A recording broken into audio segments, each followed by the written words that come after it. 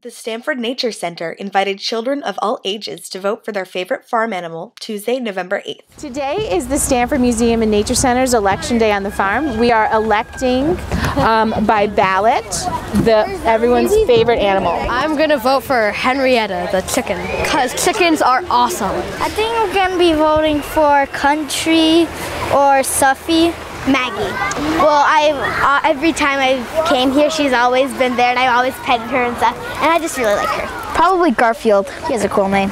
Lulu and Pippa, because they're so tiny and cute, and they're just like really small. Well, election day in Stamford, um, the majority of the children have schools off, so we want to make sure that we capture as much member and visitor attendance as possible. Um, the museum is always looking for um, more people to come and more events.